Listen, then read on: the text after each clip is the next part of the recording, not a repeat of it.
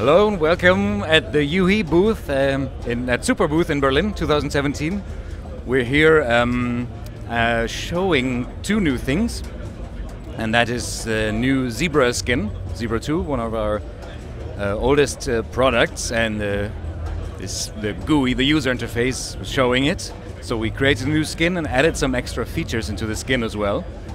Uh, we'll start with that, and after that, I'll uh, give you a quick glance at our new synthesizer, which will be uh, the Repro 5, a sort of polyphonic version of our Repro 1 that we released last year. We'll uh, start with the Zebra 2 user interface. Let's have a look. So, um, ah yeah, let's start with the main uh, page. I will um, I will assume I will assume uh, for uh, so I won't get too long with this video. I'll assume whoever watches this knows about Zebra and knows what it looks like. So I'll just mention uh, what's new and what's different. Um, first of all, what's different is uh, well, it, it looks different. Like everything was re, uh, redrawn, repainted, obviously, and we brought uh, some things to the front, um, made it more easily accessible, like uh, the. Um, like the oscillators 1 to 4, the MSEGs 1 to 4, the XY um, tabs 1 to 4, they're now all immediately accessible.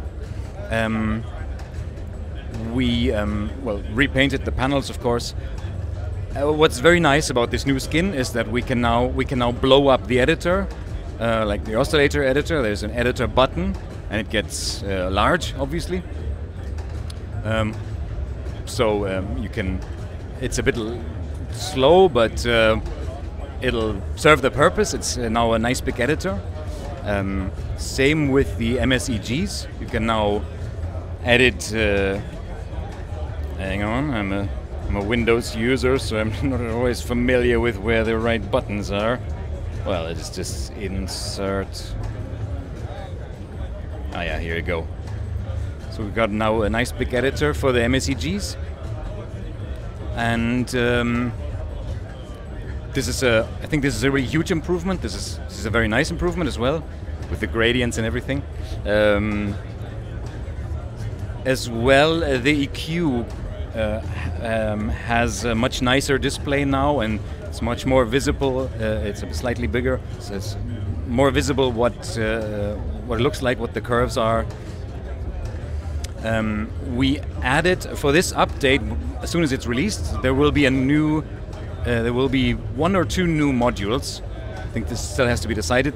Definitely, it will have a wave folder. It's a variation of the wave folder that we have in our Repro One. It looks like this.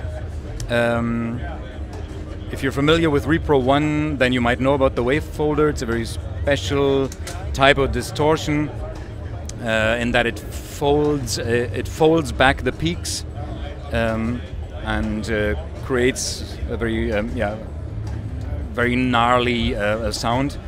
Um, in contrast to the Repro uh, wave this has a small display showing, demonstrating the intensity of the folds. It also has a live view in case some of these parameters get modulated it's a bit CPU intensive, so you can turn it off, but the live view means you can uh, you can um, modulate. Uh, maybe I should choose a more suitable thing to modulate. All right. Uh, should modulate that. This might be a better version, uh, a beta version uh, not everything might yet work. We're still, this is a, a fresh inclusion. This will be modul modulatable. This will move then in the live view. Oh, oops, sorry. I'm sorry. oh, okay. I have to press a button, of course. You can uh, you can see how the live view shows the modulation. It's a really loud sound now with the with the wave folder. Um, and Zebra 2 will also um, get a new reverb. This will be a variation, as far as I'm told, a variation of the Hive reverb, or at least something similar to that, because the Zebra 2 um, reverb that we have in it.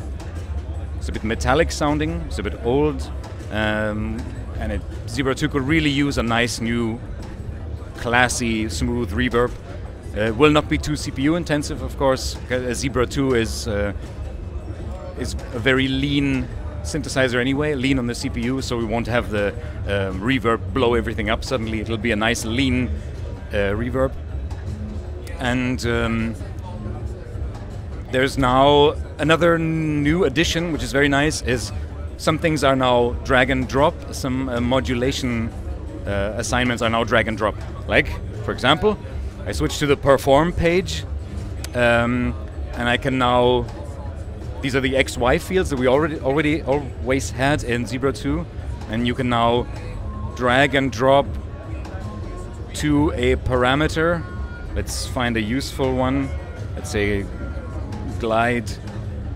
Glide is not super useful, but uh, now this will, um, yeah, since it's drag and drop, I immediately have the assignment, and I don't have to go uh, right click and go through all the menus. I can still do that, of course, but now whatever is visible, uh, I can connect via drag and drop. Um, that's really good. Mm. These are. Uh, this is mostly. This is mostly it for Zebra 2. It's mostly uh, there's some the the skin graphics, the GUI graphics are a bit smoother. Like we had a couple of users experiencing a very laggy behavior, for example, in Fruity Loops, in FL Studio, I mean, sorry. Um, and this is now much more improved. There will be additional details, of course, once the release is there. Uh, it'll all be in a newsletter, uh, so it'll be a free update as well. It will also be the last major Zebra 2 update before, at some point in the future, we will have Zebra 3. So this will be the final version of Zebra 2 and yeah, but we're still fine tuning a few things in the user interface, uh, in the performance. Yes, Zebra 2, update.